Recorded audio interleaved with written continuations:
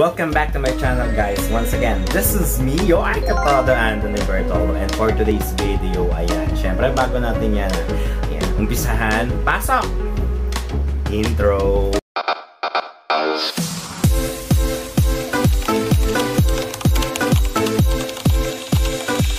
Wow!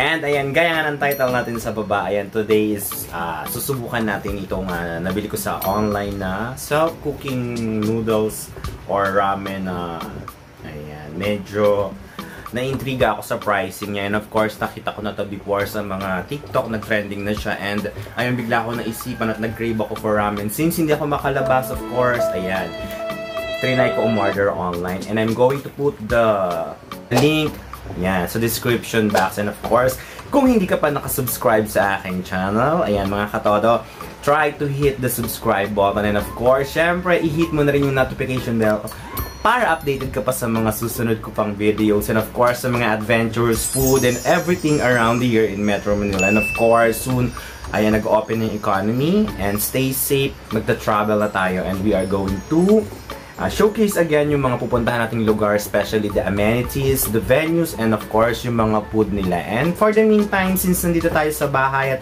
team bahay tayo, ayan mga katodo, tikman natin tong um, self-cooking uh, Kami Kami noodles na yan. I don't know kung it's from China and ayun, nasa, nasa description below yung price. And of course, kung, kung saan ko siya na-order. And I think Ayan, sana masatisfied ako. Tara, samahan niyo ako, of course, sa pag, sa pag, pag-unbox. Uh, of course, para tikman tong pagkain na to.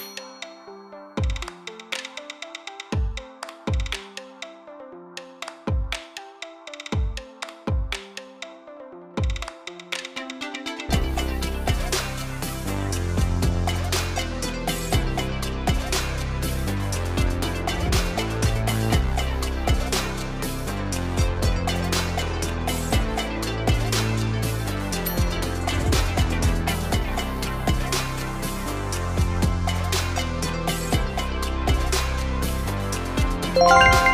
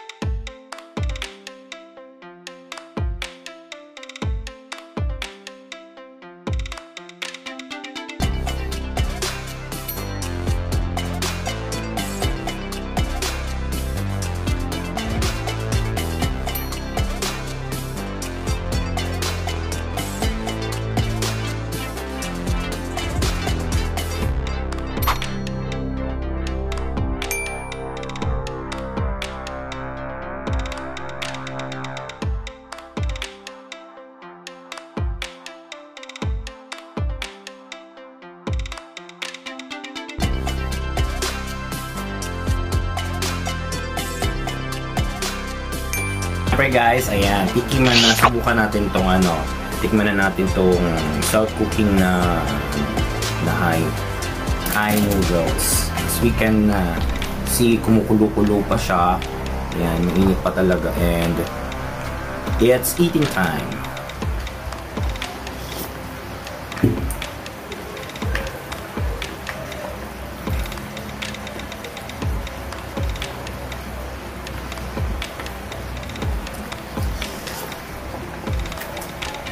Mm.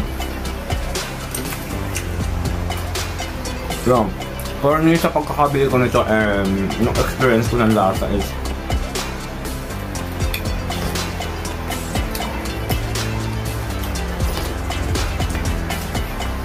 pag para ka na rin kumain ng mga ramen, no? no or ramen na sa mga mamahalin and exclusive restaurant na nag-offer ng mga mga authentic noodles and hindi overpowering yung lasa niya and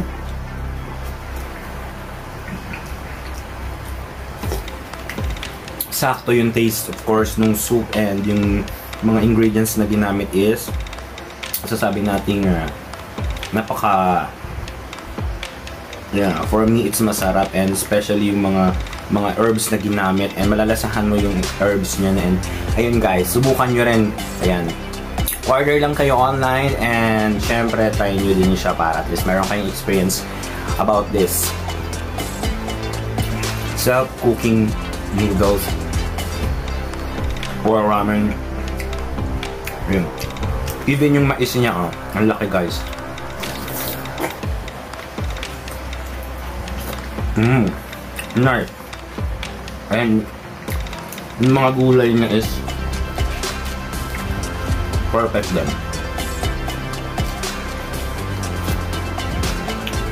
Once again, thank you for watching my videos, guys. Abangan niyo pa yung mga susunod ko bang adventures. Ayun, kain pa tayo. And of course, libutin natin ang Metro Manila para sa mga iba pang food adventure. Once again, she is loving and loving is sharing. This is your Katada saying bye.